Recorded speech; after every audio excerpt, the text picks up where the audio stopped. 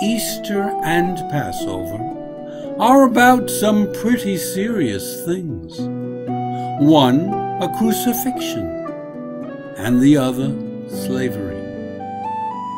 But they tell of miracles, the kind from which faith springs. One, a resurrection, and one, a parted sea. Which faith are you?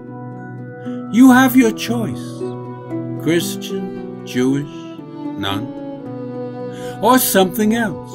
It's up to you, though you should take your time. Learn, learn, learn about them both before you choose just one, and about yourself and more, and then your faiths to find.